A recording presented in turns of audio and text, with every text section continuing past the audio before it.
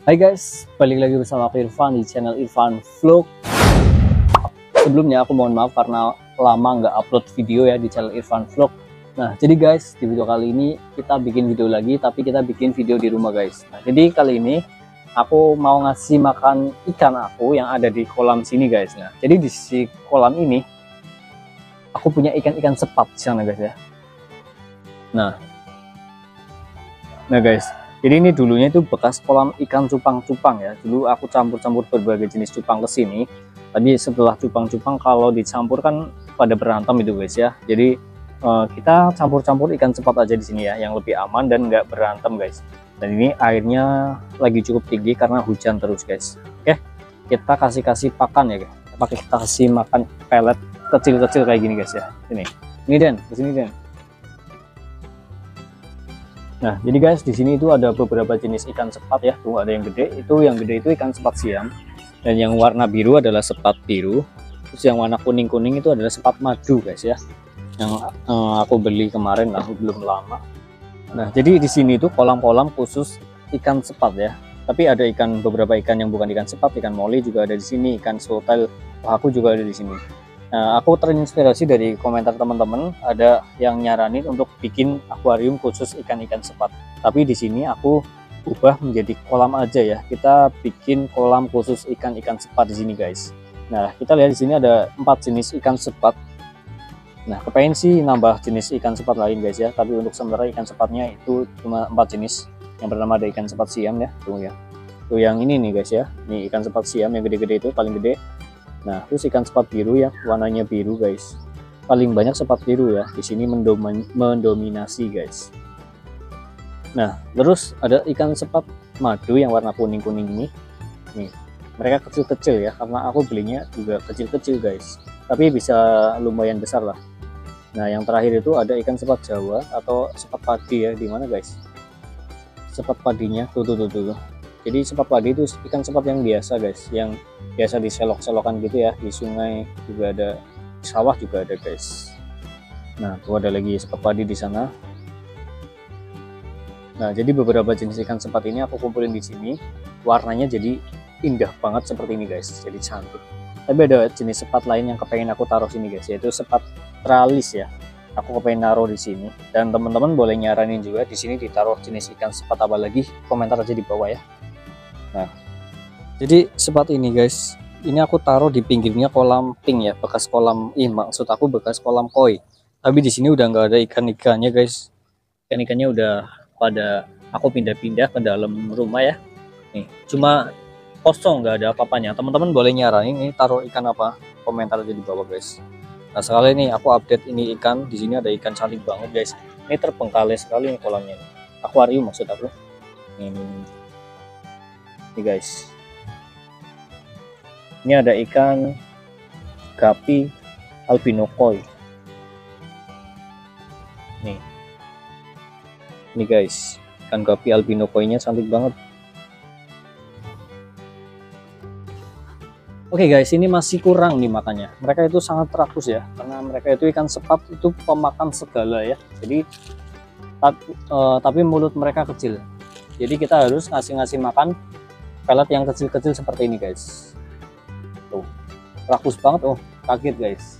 Mereka itu kagetan ya. Mudah-mudahan nggak? Jantungan. Nah selain ikan sepat aku juga mau ngasih makan ikan lain di sini. Ini ada jenis sepat juga deh di sini guys. Ini masih kerabat dekat dengan ikan sepat di sini. Ini namanya ikan cupang alam ya atau Trichopsis vittata ini masih kerabat banget sama ikan sepat oke ini masih ada nggak Den? Oh masih ada tuh kelihatan Den. Ini ada masih banyak di sini ikan sepat uh, alam ya. Ya sepat alam. Cupang alam maksud aku guys. Nah tuh coba ada makan. Kelihatan nggak di kamera Den? Kelihatan kan? Nah itu ikan sepat. Eh sepat lagi. Ikan cupang alam masih kerabat dekat dengan ikan sepat. Wah ada yang mau makan di sini kan ini. Dia mau makan juga tuh tuh mau makan ya ih, ih kupingnya cantik banget deh merah banget ya Oke kita masukin juga buat makan mereka di sini. Ini namanya ikan gupi albino koi. Mereka itu cantik-cantik banget ya. Yang di sini tinggal sedikit apa ya Den ya? mudah-mudahan sih pada berkembang biak ya ini hasil hunting dari alam bareng Dennis Bocil di sini nah di sebelah sini apa Den ini ada lele ya ini ada lele guys oke lelenya kita kasih makan. Kita tebar pakannya. Tuh tuh tuh keluarin kelihatan nggak? Ini lele putih ya lele putih. Campur sama lele biasa di sini hasil hasil hunting lah. Kita taruh-taruh di sini penampungan. Oh ya di sini bahkan ada ikan sapu-sapunya guys. Yang sapu-sapu gede banget. Oh, kita lempar-lempar pakannya. Uh, rakus banget ya sini kameranya coba deh oke guys kita coba lempar ini makanannya lagi. Ini ikan lele ya campur-campur di sini lelenya. Tuh. Rakus-rakus banget ya. Emang ya ikan lele itu ikan yang paling rakus ya karena dia itu suka makan apa aja dimakan guys. Bahkan eh, temannya sendiri kadang juga dimakan guys. Teman-teman jangan meniru ya itu bahaya. Oke. Nah terus di sini apa ya di sini aku juga mau ngasih makan ini guys. Ikan apa ya? Lupa. Ikan konflik siklit ya. Dulu aku pernah pelihara.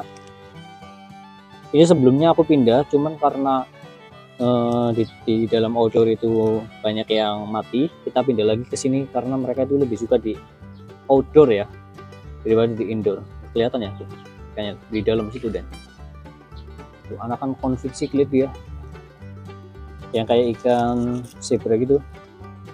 Oke, ini udah aku kasih makan dan dan di bagian atas ini masih kosong guys. Ini aku juga masih bingung nih taruh apa di sini?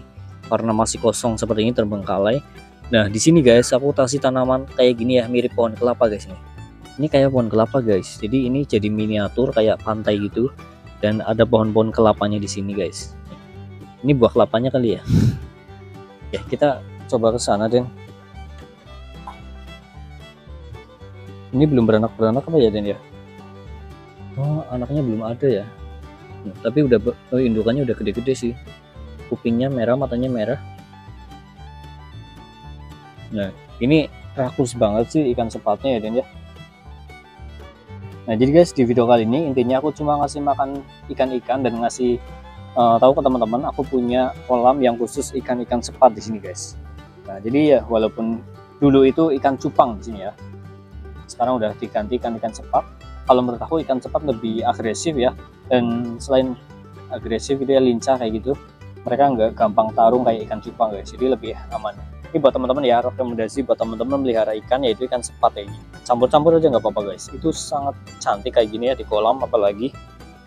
Ada yang besar ada yang kecil. Coba ambilin pakannya lagi Den. Den ambilin pakan coba dong.